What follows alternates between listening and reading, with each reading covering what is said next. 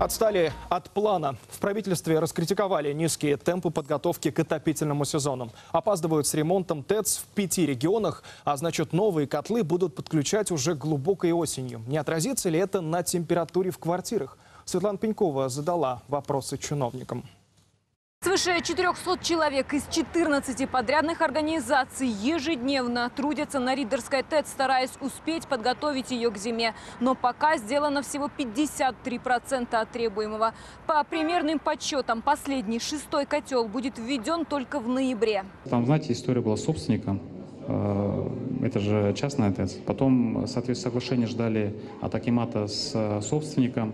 Потом был процесс э, выделения денег из резерва. Сейчас деньги все выделены, э, подрядчики все разделены пообъектно.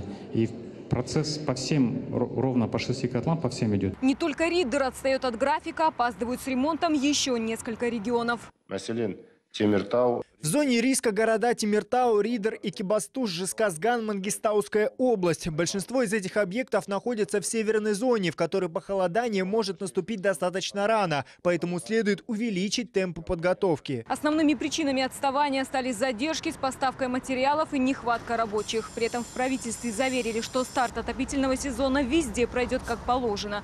Осенью котлам и не нужно работать на полную мощность, а к зиме уже все оборудование будет в строю. Люди не замерзнут. Я очень надеюсь, что никто в этот отопительный сезон ни в одном городе не замерзнет. Мы над этим работаем. Работаю сейчас и над ремонтом теплосетей. Правда, темпы везде разные. В области Абай, Мангостауской, Кызылординской, Алматинской не сделали и половины от запланированного. По электросетям и водоснабжению цифры лучше. Сделано уже 60%. Перед началом отопительного сезона предстоит решить еще одну проблему – закрыть долги энергопроизводящих компаний перед поставщиками топлива.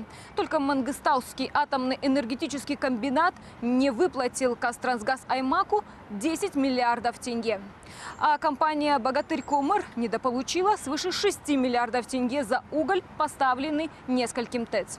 Поэтому премьер-министр поручил Акимам как можно скорее разобраться в этом вопросе, чтобы в новый сезон не входить с долгами. Светлана Пенькова, Рустам Абельдинов и Манбек Нургали. Астана. Первый канал Евразия.